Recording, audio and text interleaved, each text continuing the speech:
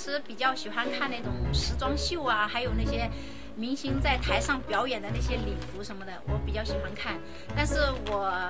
呃比较节俭，舍不得花钱去买，所以我但是我又爱表演，但是表演没有礼服是不好看的，然后我就会用这些草来做成礼服，然后自己表演。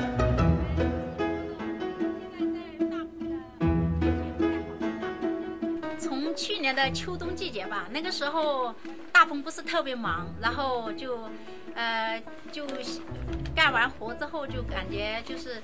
也有更多的时间了。然后我本身很喜欢玩快手，然后我在快手上看到有有人发了作品嘛，发了用草做的衣服，然后我学着去做了第一套衣服，做出来之后感觉，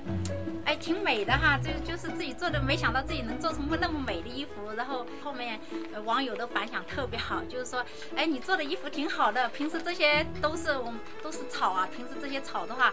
呃，农村都是拿来喂牛啊、喂羊啊，根本没有用。然后你做成衣服还挺好看的，然后直夸我是人才，然后我也感觉就是那个信心啊，就就就想着，哎，那我既然大家那么喜欢，那我就可以拿更多的草来做更多的衣服。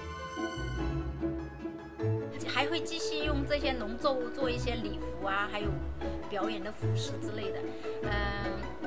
呃，但是也就是根据季节吧，每个季节有什么，家里有什么能做的，都会继续拿来做。只要一直有人喜欢看我的作品，我就会一直做下去。